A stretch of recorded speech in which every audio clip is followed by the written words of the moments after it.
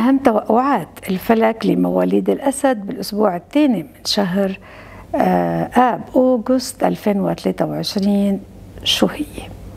بتبلش الأسبوع مع تصدي لبعض المنافسين وبعض الأخصام يلي رح يحاولوا أنه يعرقلوا طريقك أو يحاولوا أنه يوضعوا العصي.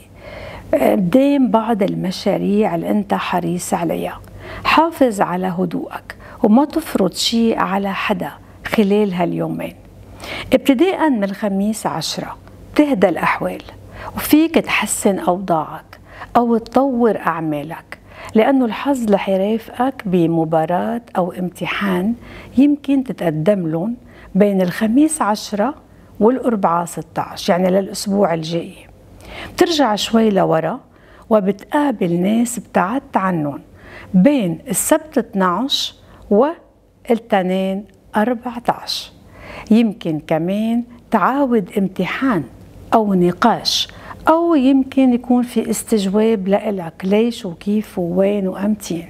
في شيء بتخبيه يا عزيزي وبتحاول إنك ما تظهره للآخرين بهالفترة. أو بتضطر إنه تكتم عن موضوع أو حتى تكذب. تكذب يعني كذبة بيضة ما بدنا نقول كذبات سوداء وكذبات مسيئة. لا لأنه السيء بيرجع لك دايما وأنت بتعرف هالشي. لازم دايما تكون إيجابي وخاصة بهالشهر.